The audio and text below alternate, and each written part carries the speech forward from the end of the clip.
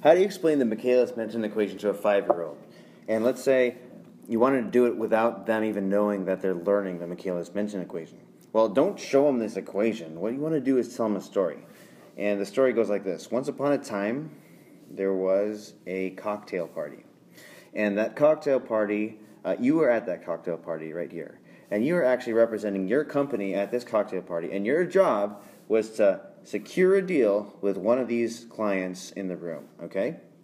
And what you have to do is two things. The first thing you have to do is get that guy to uh, draw that person into a conversation. All right?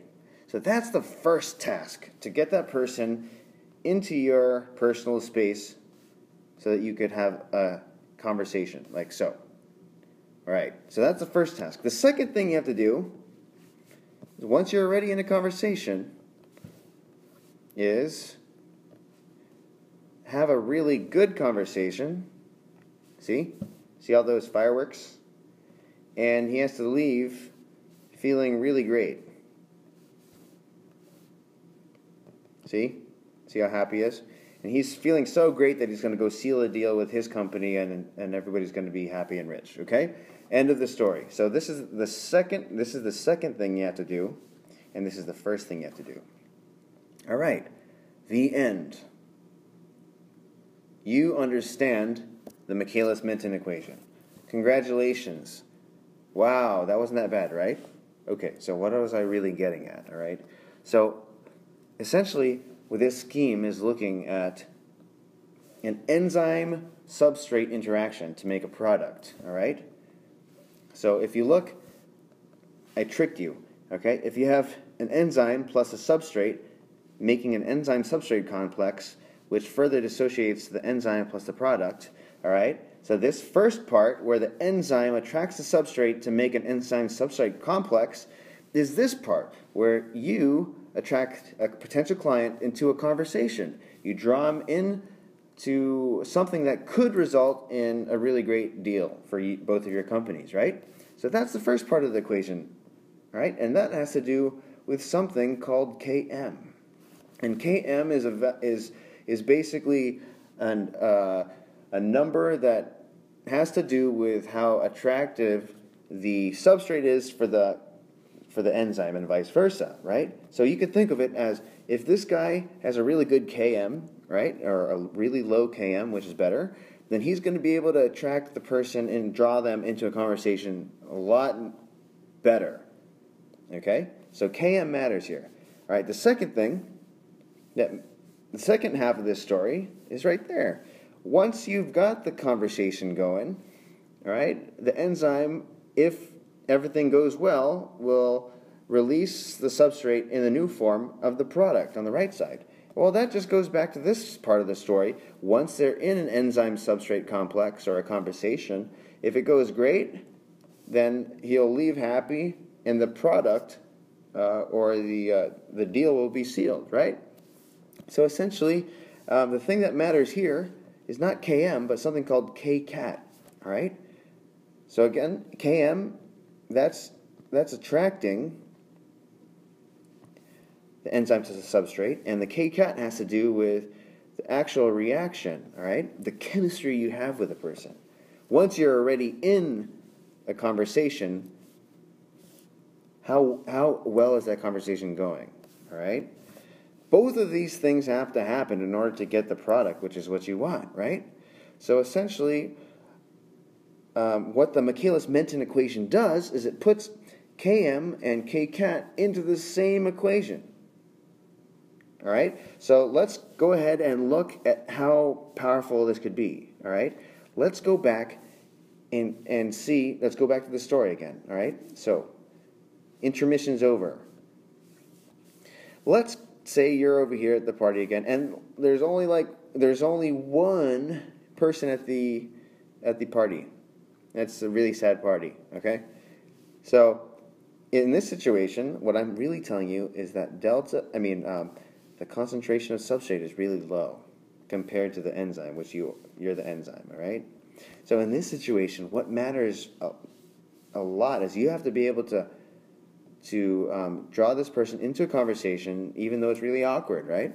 So if we go back to this equation, V equals V, uh, yeah, V max plus, no, not plus, times S over Km plus S. If S is really low, what's going to happen?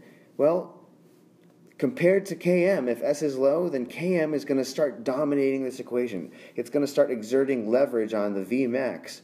Uh, all right? Uh, it's going to. So what, what really matters is the ability to track the guy over into a, into a conversation, to draw him in, right? If there's only one person in the room. All right?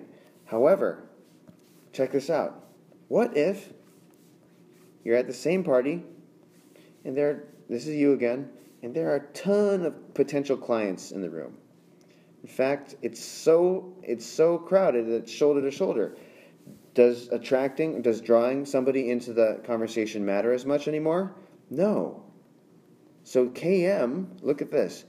Km is no longer dominating the equation. If S is super high, that compared to Km, then Km becomes negligent for all intents and purposes, and these guys cancel each other out.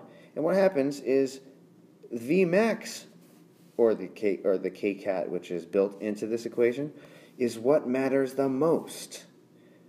And Km doesn't matter that much, right? What am I trying to tell you? That in this situation, you don't have to worry about drawing somebody into the conversation because you're shoulder to shoulder with them, right? You're, you look, look, you're in the middle of this crowd. You're walking. You don't even have to draw anybody. Everybody's forced to talk to you because they're already so close to you, right? So the KM doesn't matter as much. What matters is once you're in the, the once you're in a conversation, can you seal the deal with each of these conversations, right? Are uh, do, are you do you really have chemistry with each of these guys such that you'll you'll uh, you'll get the the company's deal and get rich or whatever, right? And get the product. So anyhow, um, as you can see, the Km doesn't matter as much, but what matters is the Kcat or your chemistry, how well you can interact with the, the enzyme can interact with the substrate to produce the product. And so the beauty of this equation, look, notice how the, this equation is the same as this equation, but the situation was different, and it works in both. So the beauty of the equation, which we'll go back to in the very beginning, is that it incorporates everything, and it doesn't matter what S you plug in, depending on, on what, le- what uh, substrate level uh, you, you decide to plug into this equation, then automatically the, uh, the Km or the Vmax will be weighted appropriately. Okay, so let's look at a graph of that. So let's here's your substrate concentration and here's your V. Here's your reaction coordinate or whatever. And so when the substrate concentration is really low, what matters in this situation is the, K, the Km uh, has more of a role. But when you increase the substrate over here, uh, the Km doesn't really exert as much of an effect anymore. And so what matters is Kcat dominates towards the end. But essentially you need both, all right? And the equation the Michaelis-Menten equation puts them together into one nice tool for you to describe the data that we're getting from our uh, from our enzyme catalysis.